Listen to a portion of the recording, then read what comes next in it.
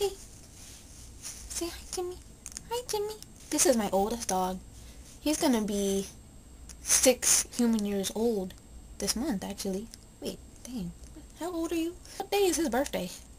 All I know is he's gonna be six, and six times seven means he's gonna be...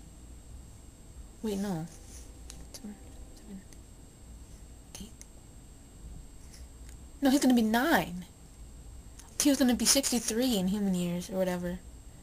Or dog years. Whatever, it doesn't really matter. But anyways, you know what I really, really hate? Okay, I have four dogs, and every time someone asks me, what kind of dog do you have? I tell them something that I don't like saying anymore. I say, I have an American hairless, or wait, no, a rare American hairless terrier. And they're like, hairless? I'm like, yeah, they have no fur. They're like, they're naked? I'm like, yeah, I guess you could say that. So like, aren't they cold when they go outside? I mean, when the summer, no, and in the winter we give them a sweater.